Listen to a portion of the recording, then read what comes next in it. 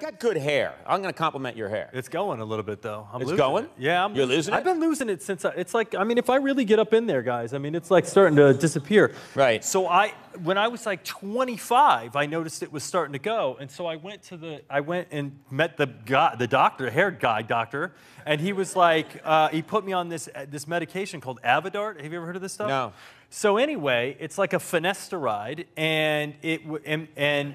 What's the wait? Now, now I need to know what that is. so basically, finasteride, it's like a hydroxydill yeah. So your or bo- glucosamate. Well, I don't know what it is. So your body produces testosterone, and then a byproduct of te- well, just, Some do, some don't. uh, so I'm a heavily testosteronated. Uh, I don't even know if that's a word. Any which way, the byproduct of testosterone actually causes fer- follicles to get weaker and fall out, and Right. so you take this stuff, and it washes away the the the byproduct of testosterone. Right.